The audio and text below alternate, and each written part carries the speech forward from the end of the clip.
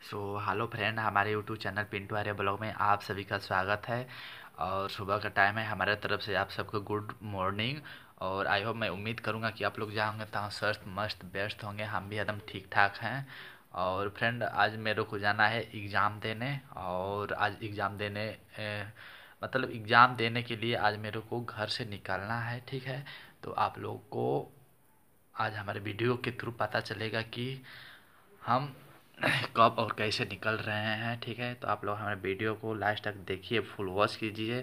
अगर अभी मेरा वीडियो पसंद आएगा तो प्लीज़ मेरे वीडियो को लाइक करना शेयर करना कमेंट करना, ठीक है? देखते हैं कि ये है सरसों और इसको ना सरसों को काट कर खेत में छोड़ दिए हैं सूखने के लिए और उसके बाद ये बोझा बनाएगा। और फ्रेंड देखिए, इधर की साइड है गेहूँ। सब गेहूँ पक गया है और इसके बाद ये मशीन से, चाहे हाथ से और हंसिया के सहारे इसको सब काट लेंगे और काट कर और इसको मशीन के द्वारा, मशीन को थ्रेसर बोलते हैं, और उसमें दबा लेंगे। तो गेहूँ हो निकल जाएगा, ठीक है?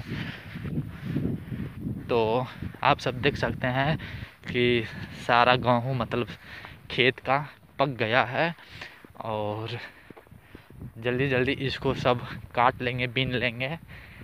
और यही है गाँव देहात का खेती ठीक है।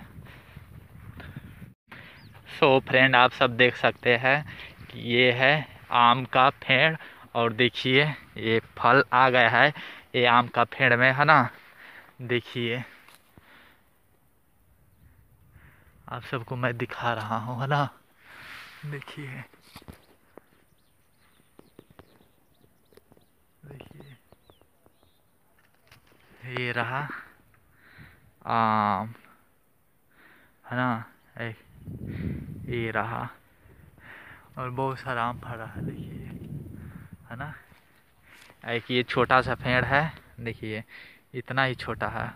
और बहुत सारा इसमें आम पका हुआ है, फरा हुआ है। और देखिए, बहुत सारा आम है ना? देखिए।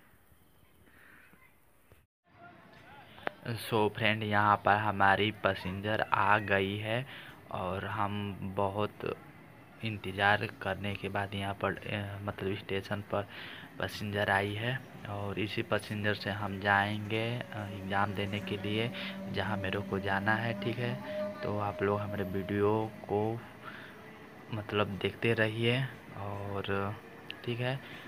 तो फ्रेंड इतना धूप था, इतना धूप था कि मत पूछिए कितना धूप है, ठीक है? बहुत गर्मी हो रहा था, ठीक है? और बहुत ज़्यादा भीड़ नहीं था, ठीक है? और फ्रेंड हम देखिए यहाँ पर ट्रेन में बैठ गए हैं। और ठीक है, और हम जिस ट्रेन के डिब्बे में बैठे हैं, वो बहुत खाली खाली है और देखिए कितना गर्मी है, ठीक है? और फ्रेंड, मेरे को बहुत तेज़ प्यास लगी है और पानी भी हम नहीं लिए हैं। मतलब पा, बोतल लिए हैं, पानी नहीं लिए हैं, क्योंकि ना ज़्यादा वज़न हो जाएगा बेग इसलिए मैंने ना पानी नहीं भरा और बहुत तेज़ प्यास लगी है, ठीक है? तो हम चलते हैं, स्टेशन पर रुकते हैं, फिर उसके बाद पानी पीऊँगा, फिर उसके बाद फिर निकल जाऊँगा, ठीक है? तो और देखिए मेरे को कितना टाइम लगेगा, कब तक मैं पहुँचता हूँ, ठीक है? और पहुँचने के बाद आज मेरे को तबीयत भी ख़राब होगा क्योंकि इतना गर्मी है, मेरे को सर दर्द भी हो रहा है, ठीक है? तो मैं मिलूँगा नेक्स्ट वीडियो में, तब तक के लिए बाय